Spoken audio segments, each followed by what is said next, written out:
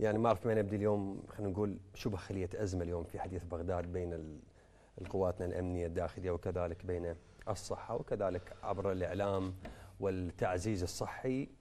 نبدأ رجعنا المربع الأول للأسف سيادة اللواء. إحنا بالجائحة بدايتها تحدثنا كثير عن الارشادات والتوعيه والوعي الصحي تحديدا والالتزام والى آخره. لكن للأسف رجع الفيروس مرة أخرى ورجعنا للمربع الأول. وإن شاء الله راح نبدأ من جديد كحديث بغداد أو كإعلام بصورة خاصة أو كإن بي سي عراق راح نبقى داعمين إلى آه، توعية المشاهد الكريم إن كان داخل أو خارج العراق، مشاهد عراقي أو عربي، ما هو دور الوزارة سيادة اللواء بوصفها جزء من لجنة المتابعة لتنفيذ القرارات التي أصدرتها اللجنة العليا.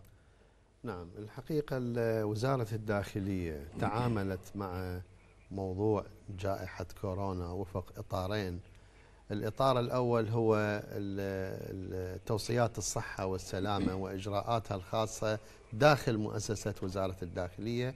آه، وزارة الداخلية آه، مؤسسة كبيرة جدا فيها دوائر خدمية لها علاقة وتماس مباشر مع المواطنين كدوائر المرور والجنسية والعديد من الدوائر اللي تتلقى يوميا مراجعات من خلال الإجراءات السلامة ومن خلال التباعد الاجتماعي وهذه التوصيات المعروفة وتحديد أعداد المراجعين من خلال التقديم الإلكتروني وفق استمارات إلكترونية.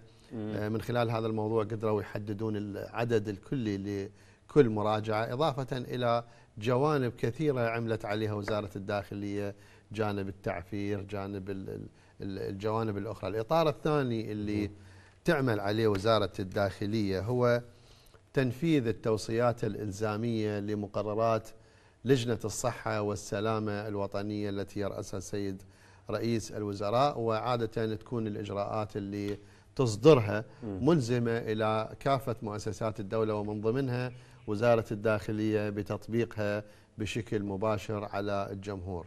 ونعتقد أنه هذه الإجراءات القادمة راح تكون يعني فيها تجديد وفيها تطبيق آه، صارم بحق من يتجاوز أو يحاول أن يتجاوز هذه الإجراءات. إحنا إحنا يعني الواضح بأن حظر التجوال راح يكون من يوم الخميس القادم. آه، راح يكون من يوم الاثنين من الساعة 8 مساء إلى الخامسة صباحا.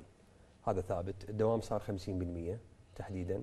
آه، حظر شامل جمعة، سبت وأحد أقدر آخذ التفصيلات الأكثر وأقدر أشوف استعدادات وزارة الصحة وتحديدا الصافه الأولى ماذا عملت لاستقبال هذا الفيروس من إجراءات وقائية لكن نروح بفاصل أول.